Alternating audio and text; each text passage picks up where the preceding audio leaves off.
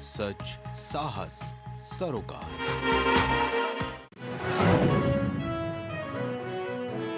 भारत ने लॉन्च किया पहला private rocket Vikram S Satish, Dhawan अंतरिक्ष केंद्र से भरी उड़ान।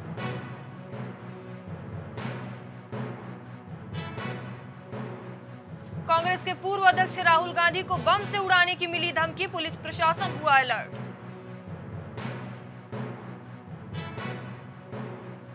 सीएम धामी एक दिवसीय भ्रमण पर पहुँचे कुमाऊन प्राकृतिक चिकित्सा के तहत मिट्टी का लेप लगाकर कराया उपचार। राहुल गांधी के वीर सावरकर पर जारी बयान पर शिवसेना नेता संजय राउत ने ज़ाहिर की कड़ी निंदा। भारत जोड़ो यात्रा में शामिल हुए महात्मा गांधी के प्रपौत्र तुषार गांधी राहुल गांधी के साथ करेंगे पदयात्रा।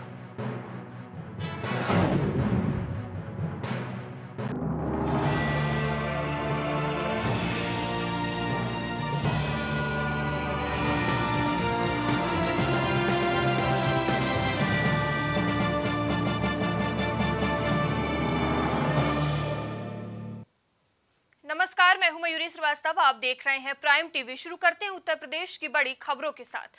आगरा के खेरागढ़ सामुदायिक स्वास्थ्य केंद्र खेरागढ़ पर प्रसूता को ट्रैक्टर ट्रॉली से लिटाकर लाने का मामला सामने आया है, जिसका वीडियो भी वायरल हो रहा है। वहीं इस मामले को देखते हुए स्वास्थ्य विभाग पर सवालिया निशान उठ रहे हैं। जानकारी के मुताबिक महिला घंटों दर्द से तड़पती रही, पर अस्पताल प्रशासन की तरफ़ से एंबुलेंस नहीं मुहैया कराई गई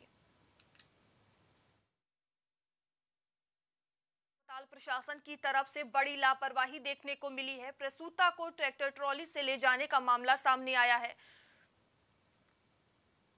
प्रसूता को स्ट्रेचर नहीं मिला, जिसका वीडियो भी सामने आया है। तस्वीरों में आप देख सकते हैं, खटिया पर ले जाते हुए परिजन नज़र आ रहे हैं।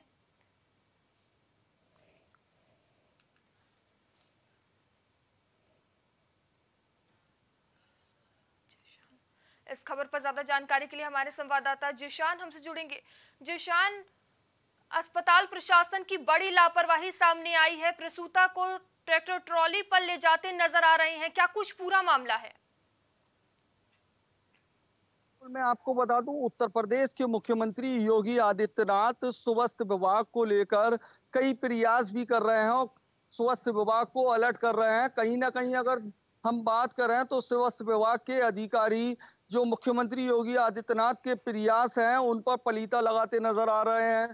ताज़ा मामला आगरा के खेरागढ़ स्थित समुदाय केंद्र का है, जहाँ पर एक महिला दर्द से तड़पती रही और हॉस्पिटल प्रशासन आँखें मूंदे बैठा रहा। हालाँकि मैं आपको बता दूँ, वहाँ पर जो हॉस्पिटल प्रशासन की बड़ी लापरवाही जो आई कि जो महिला दर्द से तड़प रही थी, वहाँ पर स्टेशन की व्यवस्था नहीं की गई। हालाँकि जो परिवारजन थे, उन लोगों ने खटिया पर बैठा उसको लेटाया और निजी अस्पताल में लेकर गए। अगर मैं आपको बता दूँ कि जो हॉस्पिटल प्रशासन है, हॉस्पिटल प्रशासन ने जो महिला दर्द से तड़प रही थी, उसको एंबुलेंस भी मुहैया नहीं कराई। तो जो परिवारजन थे, जो ग्रामीण क्षेत्र के निवासी थे, वो महिला को तड़पता हुआ देख, अपनी खटिया पर लेटाकर और ट्रैक्टर ट्रॉली में ही लेकर गए। इसके बाद साफ़ तौर से कह सकते हैं कि स्वास्थ्य विभाग के जो प्रशासन है स्वास्थ्य विभाग प्रशासन उस पर कई सवालिया निशान भी खड़े हो रहे हैं। जी। जी शान तमाम सवाल उठ रहे हैं। इस पूरे मामले पर क्या कुछ एक्शन लिया गया है?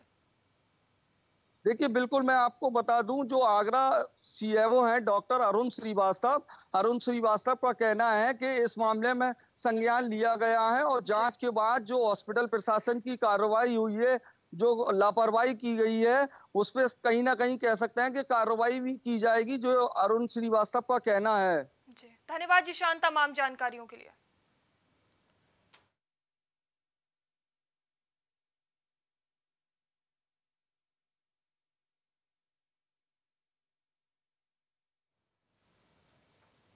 खबर लखनऊ से है, जहाँ विद्युत विभाग कर्मचारी मोर्चा संगठन उत्तर प्रदेश की तरफ़ से तिरालीसवां महाअधिवेशन का आयोजन संपन्न हुआ। कार्यक्रम में मुख्य अतिथि जल मंत्री स्वतंत्र देव उपस्थित रहे। स्वतंत्र देव सिंह ने संगठन की मांगों को मुख्यमंत्री से मिलकर जल्द पूरा कराने का आश्वासन दिया। मंत्री जी से और प्रमुख सचिव से या चेयरमैन से एक बार चर्चा करेंगे। समस्या का समाधान बारे में हम उन्नीस सौ पंचानबे और बेहतर विद्युत आपूर्ति जनता को हो भ्रष्टाचार कम हो उसके लिए ज़रूरी है बिजली की चोरी पे अंकुश लगे और इलेक्ट्रिफिकेशन 100 परसेंट हो केरल जैसा। 100 परसेंट केरल जैसा इसलिए इस तरह ना हो कि खंभे लगे तो तार नहीं है, तार लगे। बिल्कुल मतलब विदाउट इंटरप्शन आप सबको बिजली मिले। खबर बुलंदशहर से है, जहाँ जल निकासी की उचित व्यवस्था न होने के कारण स्थानीय जनता और छात्रों को कई तरह की समस्याओं का सामना करना पड़ रहा है। तो वहीं जल भराव से मच्छर जनित संक्रमित बीमारी पनपने का खतरा बढ़ रहा है। ग्रामीणों ने बताया कि प्रशासन से शिकायत की है, पर अभी तक कोई कार्रवाई नहीं हुई है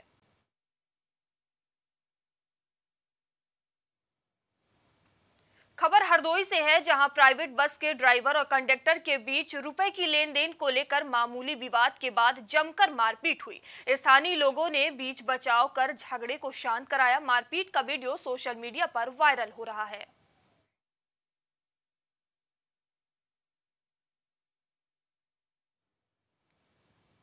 चंदौली में शहाबगंज के प्राथमिक स्वास्थ्य केंद्र में चिकित्सक और कर्मचारियों की लापरवाही सामने आई है।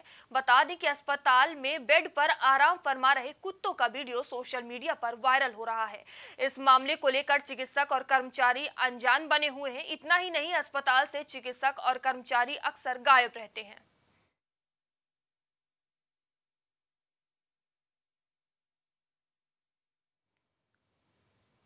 प्रतापगढ़ में नगर कोतवाली के विकास भवन के पास प्रॉपर्टी डीलर की गोली मारकर हत्या कर दी गई। बता दें कि घात लगाए बैठे कार सवार बदमाशों ने ताबड़तोड़ फायरिंग करते हुए प्रॉपर्टी डीलर की हत्या कर दी। वहीं मौके पर पहुँची पुलिस ने शव को कब्जे में लेकर पोस्टमार्टम के लिए भेजा। जानकारी के मुताबिक जमीनी विवाद में हत्या की आशंका जताई जा रही है।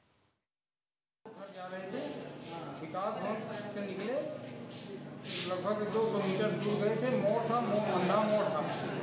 वही एक बाइक, वो एक कार खड़ी थी मैरून कलर की, और उसी को हम क्रॉस करके जैसे घूमे, रास्ता वहाँ कम। था उसके बाद एक आदमी वहीं बैठा था या खड़ा था कैसे अचानक निकला और हमको दो डंडा लगातार मारा प्रयागराज में कीटगंज थाना क्षेत्र के परेड ग्राउंड में पुलिस और बदमाशों के बीच मुठभेड़ हुई है। जानकारी के मुताबिक पुलिस की तरफ़ से की गई कार्रवाई से दो बदमाश घायल हुए हैं। पुलिस टीम ने दौड़कर गिरफ़्तार किया। बता दें, घायल बदमाशों को इलाज के लिए अस्पताल भेजा गया। पंद्रह तारीख को थाना कीड़गंज अंतर्गत एक घटना कारित की गई थी, जिसमें तीन बदमाशों ने एक जगह गोली चलाकर एक व्यक्ति को घायल किया था। उसी के संबंध में आज मुखबिर खास द्वारा सूचना दी गई कि वो बदमाश यहाँ परेड ग्राउंड के पास मौजूद है, जिस पर थाना कीड़गंज और अतर सुइया की जॉइंट की टीम यहाँ पर पहुँची और उनको देखकर तीन बदमाश जो बाइक पर यहाँ पर जा रहे थे, हड़बड़ा गए और बाइक वहीं पर गिराकर पुलिस पर फायरिंग करने लगे। जवाबी कार्रवाई करते हुए पुलिस द्वारा भी फायरिंग की गई। कानपुर में निकाय चुनाव के नज़दीक आते ही महापौर से लेकर पार्षद तक मैदान में आ गए। वहीं इससे पूरे कार्यालय में, इलाके में विकास के नाम पर कोई काम नहीं हुआ। जानकारी के मुताबिक इलाके में पार्षदी के कार्यालय के बाद बयासी का बहुत बुरा हाल है। साफ़ सफ़ाई के नाम पर ज़ीरो था। बता दें कि क्षेत्रीय लोगों का कहना है कि विधायक, महापौर, पार्षद इस मामले की शिकायत करने पर भी नहीं सुनते थे और न ही नगर निगम के अधिकारी और स्वास्थ्य विभाग की तरफ़ से साफ़ सफ़ाई के लिए ठोस कदम उठाया गया है। सिर्फ़ कानपुर कागजों पर ही ग्रीन और स्मार्ट सिटी दिख रहा है।